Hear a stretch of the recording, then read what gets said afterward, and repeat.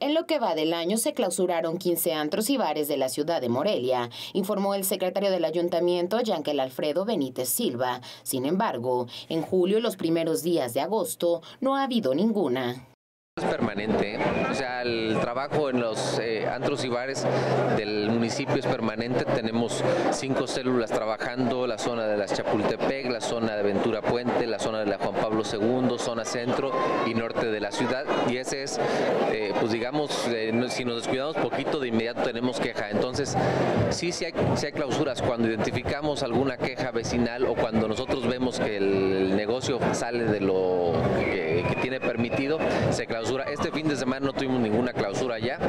Este, creo que tenemos lo que va del mes de julio sin clausuras por eh, infracciones a reglamento, este, porque precisamente ha servido el tener los, los operativos permanentes. De año yo creo que llegaremos a unas 15 clausuras, las que hemos tenido. Hay que porque luego dicen es que por qué vuelven a abrir.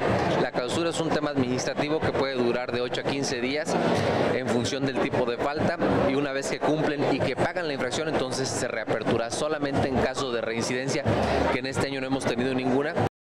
A decir del funcionario municipal, la disminución en la incidencia de clausuras y sanciones de este tipo de establecimientos comerciales que operan bajo la licencia municipal tipo C está relacionada con la operatividad que tiene la Secretaría, con inspecciones permanentes, pero también la comunicación directa vía WhatsApp con los vecinos de las zonas aledañas a estos sitios.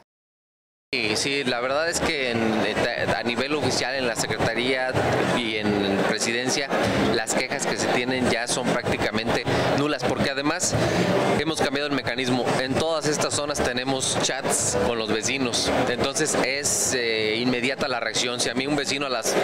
Eh, ayer tuve una actuación a las filo de las 23, 30 horas en un lugar que hubo queja en la Juan Pablo II en donde llegamos, medimos y vemos si está dentro o no está dentro y en ese momento se atiende. Entonces, por exceso de ruido fue la queja.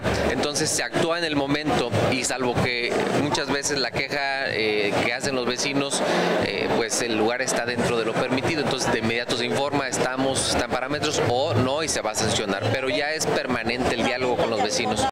Yankel Benítez comentó que las zonas de Chapultepec, de Ventura Puente, Juan Pablo II, centro y norte de la ciudad, es donde se tenía un problema más severo, pero poco a poco se ha erradicado el exceso de ruido de los establecimientos, las horas de cierre, así como la venta de alcohol a menores de edad. Ángel Martínez en las imágenes reportó para Noti 13 a Mirani Gutiérrez.